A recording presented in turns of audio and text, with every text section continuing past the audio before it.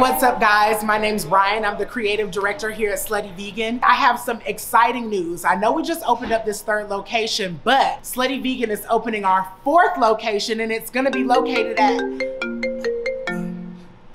Hold on, hold on one second, okay?